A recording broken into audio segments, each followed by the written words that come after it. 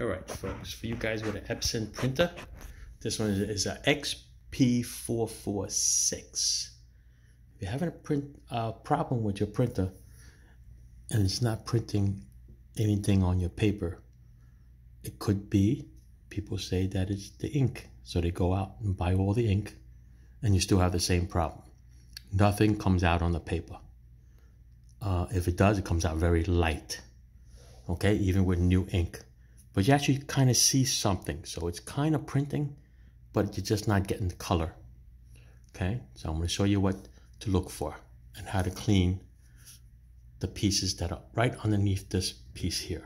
Okay, so what we're going to do first is we're going to take the color off. I'm going to take one of them off.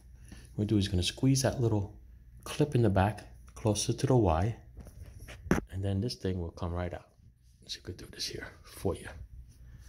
Oh, it's hard to do it that way without something pointing down. Let me see. All right, let's make, let's do this Fugazi setup here. Anyway, squeeze this little tab in the back and this ink cartridge will come right out, okay? Put it off to the side. And you see inside, there's a little pointy thing there. See it? It's got the yellow ink in it, okay? Looks like a little pencil tip. Okay, looks like that. What you can't see with the naked eye, if you look really close, it's a little tiny hole right there that comes out. Okay? In that little tiny hole is where the ink actually drips into. Okay? So in the naked eye, sometimes you can't see that it's clogged. So what you do is you take a little rubbing alcohol, you put it in a Q-tip, and you go and you clean that area up. So I usually do is I go and I clean that area up first with all the ink that that's left there right now. You go and you take a little swab and you clean it up really good.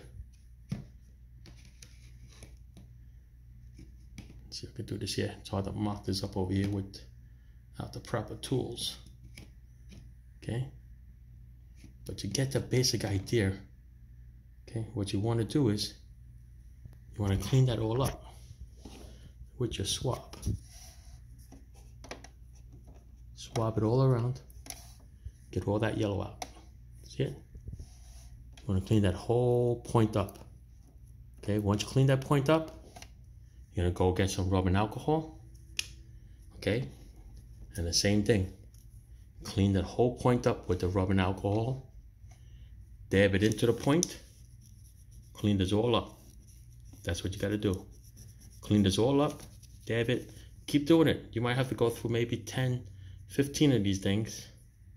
Okay, just clean it up around the area, the whole point, the whole castle top, and dab it right into that hole there. And you'll notice that the rope rubbing alcohol is gonna fill in that little hole there and clean it out. If you want, you do it at all four. Okay, that's what I did. Did all four of it. Clean the bottom up, clean the tower up, and it's nothing but just four nice clean black towers.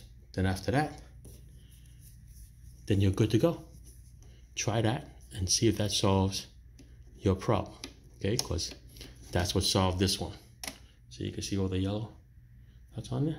Okay, like I said, keep going. Use your swab, clean it until it's nice and clean.